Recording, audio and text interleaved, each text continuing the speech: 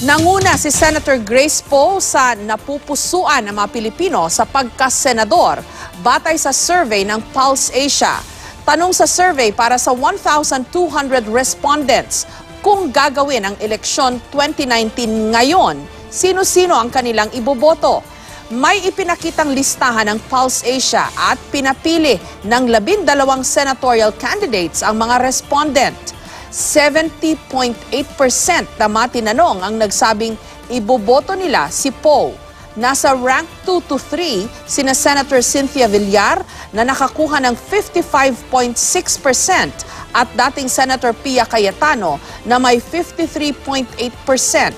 Pasok sa rank 4 to 6 si Senator Nancy Binay na nakakuha ng 45.8%. Nasa rank 4 to 7 si Senator Sani Angara na may 44.9% at si Davao City Mayor Sara Duterte Carpio na may 43.8%.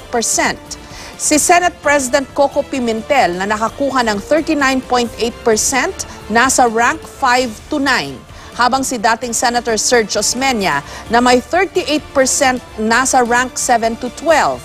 Nasa rank 7 to 13 ang mamamahayag na si Erwin Tulfo na may 36.7%. Rank 8 to 15 naman si dating Senator Lito Lapid na may 33.8%. Dating PNP Chief Ronald De La Rosa na nakakuha ng 33.1% at dating Senator Jinggoy Estrada na may 32.8%. Pasok naman sa rank 9 to to 15.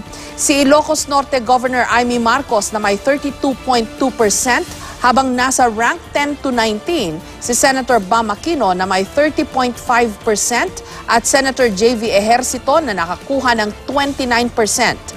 Pero ayon din sa survey, mahigit kalahati o 57% pa lang na mga Pilipino ang meron ng labindalawang senatorial bets para sa 2019 elections. Isinagawa ang survey noong March 23 hanggang 28. Ayon sa Pulse Asia, walang grupong nagkomisyon sa kanilang survey.